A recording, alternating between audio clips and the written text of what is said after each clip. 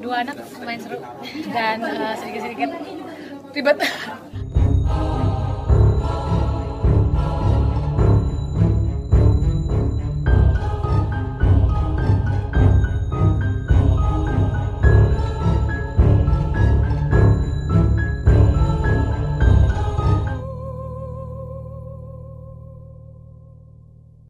Alhamdulillah sehat gitu.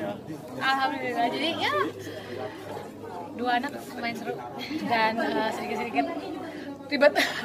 Nggak sih eh, seru sih cuma ya apa ya lebih senang di rumah kali ya kalau di rumah. Enggak itu tangan ada stres kan Hah? sempat ada stres. Oh pastilah. Setiap uh, abis ibu lahiran tuh apa ya pasti ada struggle-nya lah. Kalau anak pertama kan mungkin saya lebih ke yang tiap harinya kerja tadinya. Waktu hamil kan saya juga kerja tiba-tiba saya harus di rumah 40 hari terus cuman sama dia doang. Terus suami kan kerja jadi kayak cuma sama cuma sama baby doang.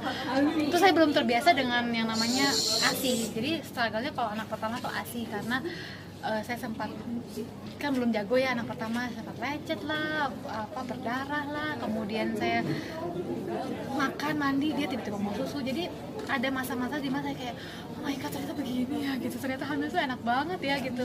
Cuman hamil kan cuman kayak perutnya belendung ya udah gitu disayang dimanya tapi ini benar-benar harus saya sendiri sebenarnya struggle tapi saya mesti kuat karena saya harus ngurusin anak dan nyusuin itu yang anak pertama struggle-nya. Kalau anak kedua masalah asi udah jago karena kan e, belajar dari anak pertama jadi anak kedua jadi lebih kayak ah gampang lah asi gue sekarang udah tahu nih kalau habis nyusuin dipompa gitu. Kalau anak pertama enggak saya benar-benar standby nungguin dia kapan dia mau susu gitu. Jadi kalau anak terakhir anak kedua struggle-nya adalah itu yang saya, tadi saya cerita. Anak saya yang pertama ini nggak suka di rumah kan namanya anak cowok usia satu setengah tahun mau hampir dua tahun sekarang 22 bulan. Dia tuh setiap kali setiap hari harus ada kegiatan. Berenang lah main di taman lah main di mall lah di playground lah sama teman-temannya pergi jadi eh, selama dia hampir 2 tahun ini saya selalu ada sama dia setiap hari temenin dia main kalau nggak kerja saya tuh udah nggak pernah ketemu temen udah nggak pernah pergi ke mana-mana. Waktu saya anak pertama tuh saya nggak pernah nonton nggak pernah ke mana-mana. Salon tuh di rumah eh, potong rambut di rumah. Jadi tuh anak saya terbiasa yang pertama selalu ada saya di mana pun dia berada. Nah, ketika anak kedua baru lahir, saya titipin ke mama saya kan seminggu saya di rumah sakit.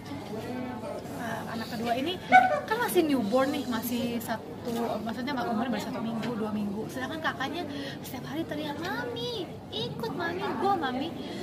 Setiap kali dia mau pergi, setiap habis makan siang, habis bangun siang dia makan siang, saya tuh masih ngumpet. Saya mesti apa ngumpet ke belakang pintu, di belakang tembok. Padahal dia tadinya ngeliat saya tiba-tiba saya ngumpet, ya apa ya sedih gitu. Sedih saya nangis dia juga nangis. Kayak mami kam jadi gini walaupun dia seneng ker dia misalnya gini dia lihat saya nih tangkap nih saya nih. Minta gendongan mami mau ikut mami mau ikut mami. Sedangkan yang lain tuh apa tantenya udah jemput gitu kan. Saya gendong tante bilang ayo kita main bola. Oh iya main bola. Terus dia lihat muka saya tapi mau sama mami Yaudah, mami ikut gimana ya caranya. Sedangkan yang kedua baru dua minggu waktu itu umurnya. Itu tuh masa-masa saya galau dari anak saya baru lahir sampai sebulan. Yang kedua saya galaunya adalah setiap hari selama 30 hari anak saya tuh mau pergi saya tuh nggak bisa ikut. Setiap kali saya harus ngumpet di belakang pintu setiap kali eh, dia mesti nangis untuk teriak namanya ikut. Ya itu penyesuaian lah ya karena kan setiap kali saya temenin dia selama hampir 2 tahun tiba-tiba saya nggak bisa temenin jadi itu masa-masa saya galau. Dan akhirnya anak kedua saya ini yang baru sebulan saya bawa ke mana-mana sekarang. Temenin kakaknya main ke taman ke mall ke playground. Jadi makanya anak kedua jauh lebih tough ya lebih kuat. Karena satu tahun udah dibawa. Kakaknya di mana?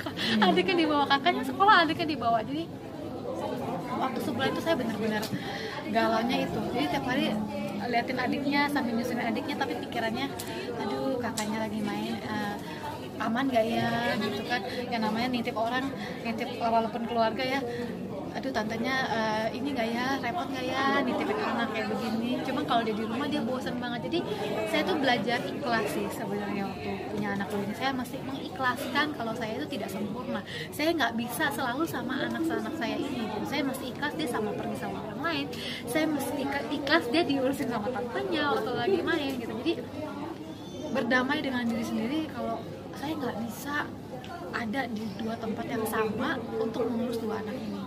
Nah sekarang anak saya ada, ada dua bulan, saya bawa terus nih kakaknya ke mana-mana. Jadi saya kalau bisa anak-anak saya itu ada di satu lantai di satu tempat jadi saya bisa ngurusin dua-duanya gitu sekarang sih udah jauh lebih bahagia saya jauh lebih bahagia karena saya bisa bawa anak kedua saya ini ke mana-mana baru dua bulan sih cuman udahlah itu saya bisa lihat dua-duanya gitu Sempat bersalah nggak Mbak Sandra eh, jeda anaknya jaraknya dekat sekali? bersalah banget saya juga nggak ngerti kenapa bisa jadi sama.